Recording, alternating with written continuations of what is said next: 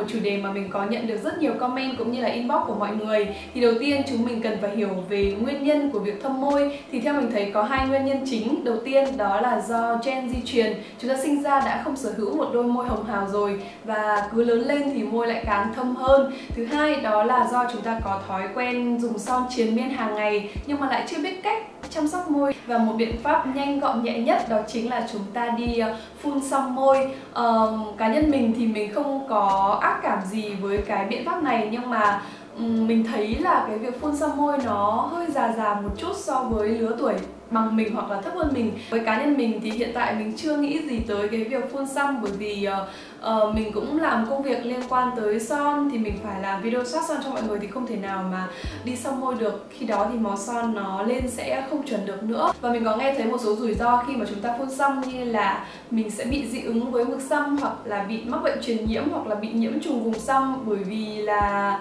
uh, có nhiều cơ sở thẩm mỹ bây giờ mở ra rất là kiểu vô vô tổ chức ấy. Vậy nên nếu như mà mọi người à, trị thâm môi bằng cách là đi phun xăm môi thì mọi người cũng hãy tìm những cái cơ sở thẩm mỹ nó uy tín một chút nhé còn hôm nay chúng ta sẽ chỉ bàn về những cách chăm sóc môi hàng ngày để có thể cải thiện được tình trạng thâm môi cũng như là giúp chúng ta có thể sở hữu được một đôi môi căng bóng. Biện pháp đầu tiên cũng là một biện pháp dễ nhất, đó chính là tạo thói quen uống nhiều nước hàng ngày. Mình biết là không phải ai cũng có thói quen này, chúng ta thường khá là lười và chỉ khi nào cảm thấy khát thì chúng ta mới đi uống thôi. Thì đây là một cái thói quen không hề tốt cho sức khỏe nói chung cũng như là đôi môi và làn da nói riêng. Thì hôm nay mình muốn như một cái lời nhắc nhở nhỏ với mọi người, đó là hãy cố gắng tạo thói quen uống nhiều nước hàng ngày nhé đối với da cũng như là môi thì việc chúng ta đắp ở bên ngoài bao nhiêu cũng không bằng cái việc mà chúng ta đưa gì vào trong cơ thể để ờ, trong ngoài kết hợp sẽ giúp chúng ta có một ờ, làn da đẹp và một đôi môi xinh nhé biện pháp thứ hai đó chính là tẩy da chết. Đối với tẩy da chết cho môi thì mọi người hãy lắng nghe cái môi của mọi người thôi. Ví dụ bản thân mình chẳng hạn, vào mùa đông mà nó khô quá thì mình sẽ tẩy tầm 2 cho tới 3 lần một tuần. Hoặc là hôm nào mà mình cảm thấy nó bắt đầu bong chóc vẻ chết thì mình sẽ ngay lập tức dùng tẩy da chết môi ngay. Còn mùa hè thì độ ẩm nó nhiều hơn thì mình thường tẩy tuần à, một cho tới hai lần thôi. Và có một chú ý đó là tuyệt đối không được ngồi bóc vẩy da chết ở trên môi. Uh, mình thời gian trước khoảng từ năm ngoái hết về trước là mình có một thói quen vô cùng kinh khủng đó chính là ngồi bóc vẩy ra chết môi kiểu ngồi trong lớp ngồi làm việc hay ngồi bất cứ làm gì. Không cần biết là trên môi có son hay không nhưng mà cứ có vẩy ra chết là mình ngồi kiểu mân mê mân mê xong rồi bóc vẩy ra chết ở trên môi. Và đó là một cái thói quen cực kỳ xấu. Nếu mà chúng ta cứ tiếp tục cái thói quen đó hàng ngày hàng tuần thì dần dần kiểu da môi nó bị tổn thương rất là nhiều và nó cái khả năng uh, tái tạo lại của nó cũng sẽ bị kém đi và làm cho môi của mình có rất là nhiều vấn đề chứ không chỉ là bị thâm môi. Chắc chắn rồi da có vẩy da chết thì chúng ta mới bóc ra đúng không? Vậy thì bây giờ làm thế nào để có thể mịn và không có vẩy da chết nữa? Thì đương nhiên là chúng ta phải sử dụng những cái sản phẩm tẩy da chết cho môi rồi. À, đầu tiên cách đơn giản nhất mọi người có thể làm được tại nhà đó là lấy ờ, đường đường trắng của chúng ta ăn ấy pha với mật ong, kiểu sệt sệt lại và chúng ta sẽ dùng một cái hỗn hợp đó để tẩy da chết ở trên môi. Cái này thì mình cũng thử rồi, thế nhưng mà nó lách cách quá, kiểu mình lười ấy. Thành ra mình sẽ mua luôn một cái thỏi son tẩy da chết môi. Và bạn này chính là bạn Lip Exfoliator của ELF. Sản phẩm này thì đã quá là nổi tiếng trên mạng rồi, mình tin chắc là cũng có nhiều bạn biết tới sản phẩm này rồi. Thì ờ, cái cái kết cấu của nó như sau, ở bên trong của nó như là một cây son mà chúng mình hay ờ, đánh lên màu ấy đó, như thế này. Và khi mà thấy môi khô, chúng ta sẽ làm ẩm môi hoặc là liếm môi một chút cho môi ẩm ẩm, rồi chúng ta lấy cây son này di lên trên môi tẩy da chết bình thường thôi. Hoặc là chúng ta sẽ sử dụng cái ờ, bàn chải đánh răng cọ nhẹ nhẹ ở trên môi để cho nó bong hết cái vảy da chết ra. Sau đó thì ra ngoài chúng ta cần phải ờ, dùng son dưỡng ngay lập tức thì môi mới được mịn. Có một số bạn thì inbox hỏi mình là chị ơi, em dùng tẩy da chết cho mặt hoặc là tẩy da chết body, tẩy da chết cho môi thì có được không? Um, cá nhân mình thì chưa thử bao giờ bởi vì mình thấy là những cái sản phẩm tẩy da môi nó cũng khá là mỏng và hơi nhạy cảm ấy thành ra chúng ta nên sử dụng những cái sản phẩm nó chuyên biệt cho môi thì tốt hơn là việc chúng ta dùng những cái tẩy da chết cho mặt. Sau đó chúng ta trà lên môi thì mình cảm thấy nó không hợp lý cho lắm. Mình cũng chưa thử bao giờ cả. Tiếp theo chúng ta đến với một bước quan trọng nhất nhất nhất đó chính là sử dụng son dưỡng môi. Thì uh, bản thân mình cứ bất cứ khi nào mà mình cảm thấy môi của mình khô là mình sẽ thoa son dưỡng. Mình luôn luôn mang theo một cây son hay là một hũ son dưỡng ở bên người chứ không phải là mình đợi tới lúc uh, sáng hay là lúc tối mình mới thoa theo kiểu chu kỳ hay gì cả. Bất cứ một khi nào mình cảm thấy môi khô là mình sẽ thoa luôn.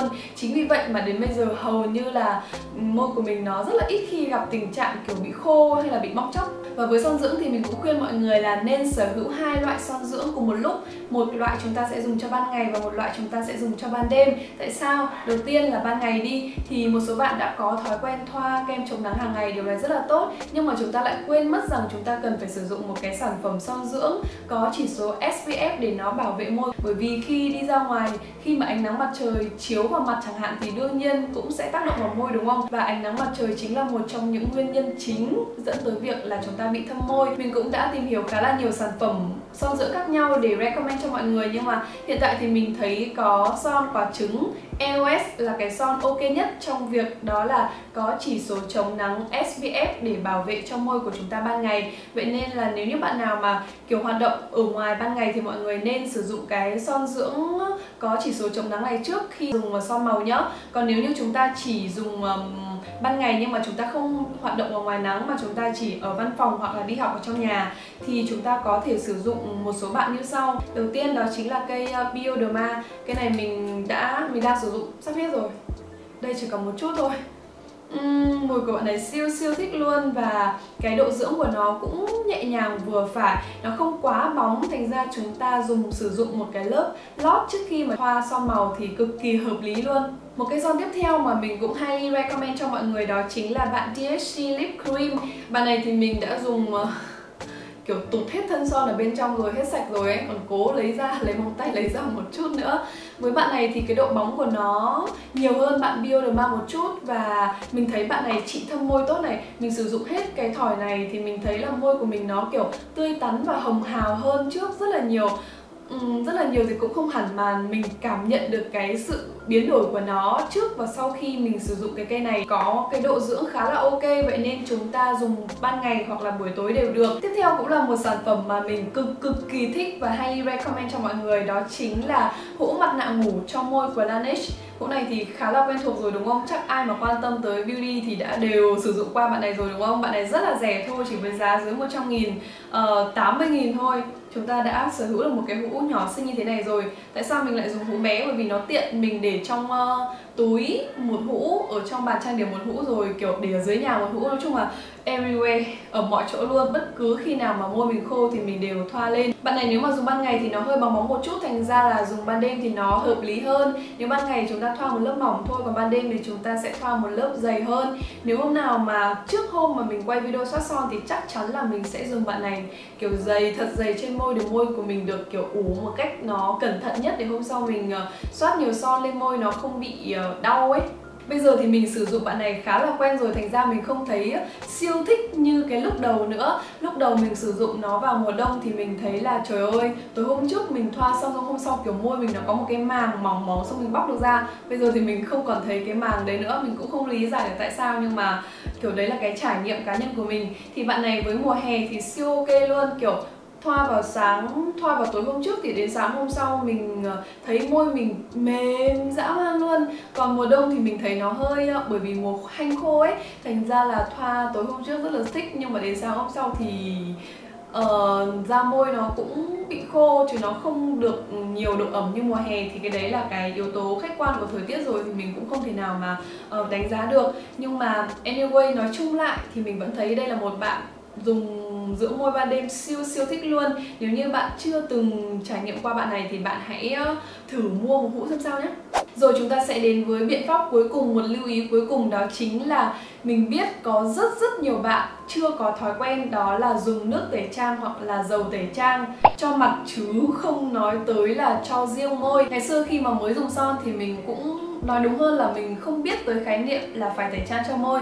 Thì mình cũng đơn giản là dùng ban ngày xong tối về mình uh, khi mà đánh răng thì mình sẽ dùng cái bàn chải đánh răng, mình chà chà để lau hết đi son. Hoặc là khi mà tắm mình dùng sữa rửa mặt thì mình cũng, kiểu, lau luôn son đấy rồi uh, dùng khăn mặt để lau son. Thực sự là đến bây giờ mình nghĩ lại mình thấy kiểu ngày đấy kiểu không không hiểu biết nó thật là kinh khủng ấy. Đó thì cái việc mà chúng ta không tẩy trang sạch cho môi để nguyên cái lớp son màng màng vẫn còn bám trên môi đi ngủ cả đêm triền miên ngày này qua ngày khác thì đấy chính là một trong những lý do mà dẫn tới việc là môi chúng ta bị thâm. Chính vì vậy khi mà biết được nguyên nhân rồi thì mọi người nhớ là từ bây giờ chúng ta hãy tạo thói quen là tẩy trang cho môi hàng ngày nhé à, ờ, đối với môi thì có loại tẩy trang mắt môi chuyên dụng và loại tẩy trang cho mặt chúng ta sử dụng cho môi cũng được. Đối với tẩy trang mắt môi chuyên dụng thì mình thấy là không thích lắm. Mặc dù đương nhiên nó sẽ sạch hơn, nhưng nó thường có một cái ờ, lớp dầu và một lớp nước để cho nó có thể lấy được cái mascara đi luôn và làm cho son sạch hơn ấy. Nhưng mà mình dùng cái đấy mình thấy cứ không thích cho lắm. Thành ra bây giờ mình chuyển sang một cái thói quen, đó là